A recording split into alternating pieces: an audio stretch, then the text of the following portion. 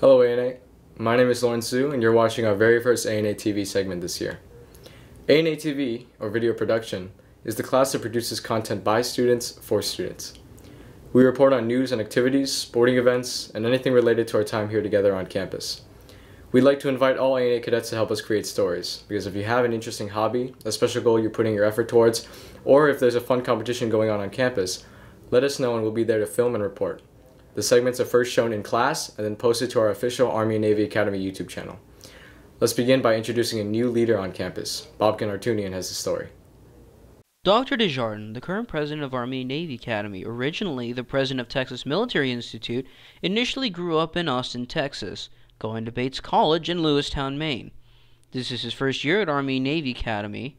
As such, we interviewed him to get a better look at who he is as both a person and a leader.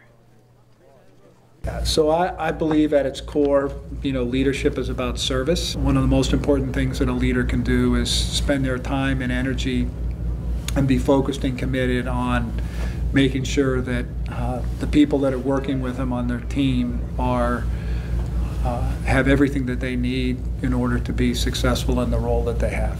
When it comes to the favorite part of his new job, President Desjardins was very clear what that would be.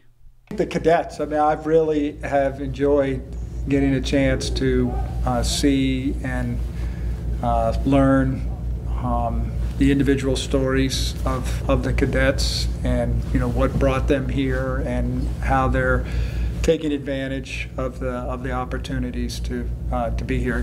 The battalion staff are among the cadets Dr. Desjardins has gotten to know better since his arrival. He had only praise for them.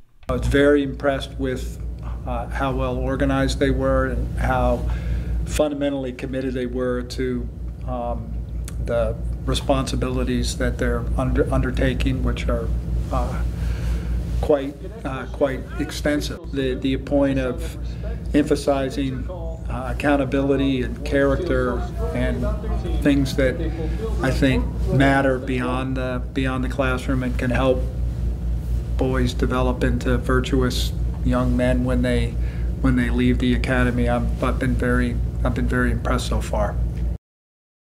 Interviewing Dr. Desjardins was a fun endeavor, and we thank him for his time. We wish him good luck. For NATV, I'm Bobkin Artunian. Thanks, Bobby. We also dedicated some of our time to all the new cadets, hoping that they remain seen and supported by all of us.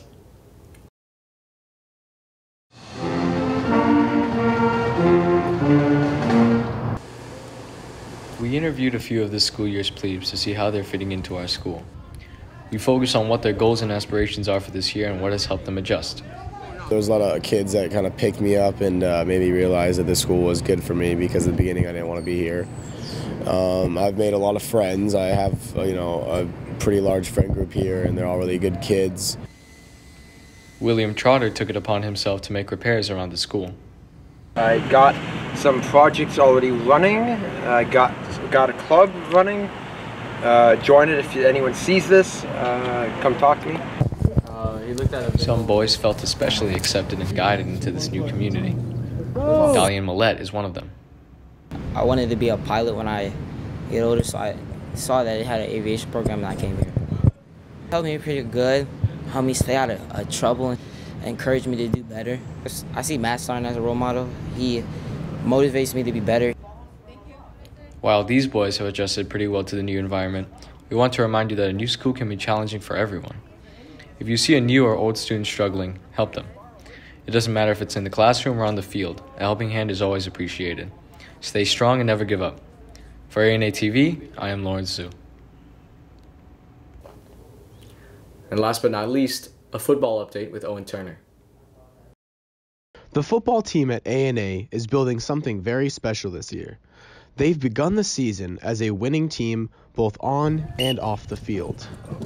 The academy has made huge strides in the offseason to prepare for the tough upcoming opponents. We begin our story with the pride of the school, a prestigious and hardworking man, Coach Brunson, who has shared with us his number one value that he upholds on a daily basis. Commitment. Um, this is something that you'll use for the rest of your life. Uh, the commitment, the brotherhood, the bond, um, the bonds that you you get in football are some of the bonds that you'll have with your teammates for the rest of your life. We really push brotherhood. Um, we talk about a we have a little motto called Dirty 30. I mean, there's only about 35 of us, and it's something that we've taken from programs that we've had in the past where you know those 30 guys thrive together and when they do that and you know nothing can break that bond that they have Coach Brunson describes some of the coaching techniques that he is applying on his players during practice. I feel football is a sport that you know is essential to life, um, especially all sports are.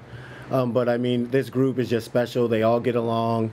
They all hang out. It's something that you want on this campus. Um, the support we're getting from you know all the cadets on a Friday night is, is awesome. I mean, because of that, we're two and zero at home. Xavier Leatherman, our starting linebacker and freshman, defined his thoughts on team spirit and commitment. It's a brotherhood. That, that's the best part about it. We all got each other's back. I can go to any one of them. They, they got me.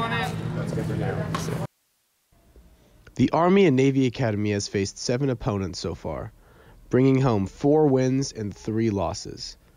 As they go forward, they promise to continue working hard and improve even more for you cadets. Thank you for all of your support.